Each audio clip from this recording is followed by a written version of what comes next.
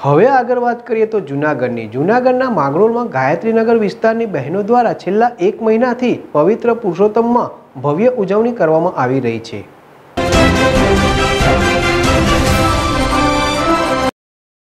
વર્ષોથી હિન્દુ સમાજમાં આ અધિક મહિનાને ખૂબ જ ધાર્મિક અને મહત્વનું ગણવામાં આવે છે. ત્યારે અલગ અલગ વિસ્તારોમાં તથા દરેક મંદિરમાં ખૂબ જ ભક્તિભાવ અને શ્રદ્ધાથી ઉજવવામાં આવતો હોય છે.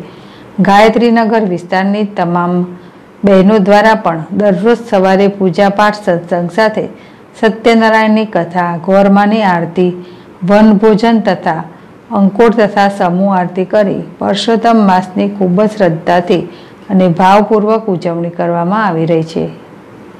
જીતુ પરમાર, જેડેશ ટીવી, માંગરોળ. જી. જય શ્રી કૃષ્ણ. આજે હું માંગરોળથી ગાયત્રીનગરમાંથી બોલું છું. આજે અમે અહીંયા પુરુષોત્તમ માસની એક મહિનાથી આ પૂજા કરીએ છીએ.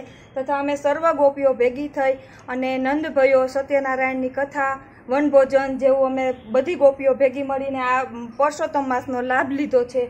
આજે અમે તમે જોઈ રહ્યા છો કે બધી ગોપીઓ જ્યારે મેરેજમાં તૈયાર થઈ હોય એવી ઉત્સાહથી તૈયાર થઈને આવી છે અને બધી ગોપીઓ હરેકભેર રોજે રોજે નત નવા કીર્તન, સત્સંગ અને ગોરમાની પૂજા કરે છે. તથા બધાને વિનંતી કે જો તમે જોઈ રહ્યા છો કે ગોરમાં એ રીતે પૂજવામાં આવે છે. જાણે ગોપીઓ દસ થાય ત્યાં બધી ભેગી મળે. ચાલો ચાલો એ રીતે બધા ભેગા મળી રોજ કોઈને કોઈ નાસ્તો કરાવે છે, ઠંડુ પીવડાવે છે, ભેગા મળી સત્સંગ કરે છે અને પરસોત્તમ મહિનાનો મોજ શોખથી લાભ લે છે.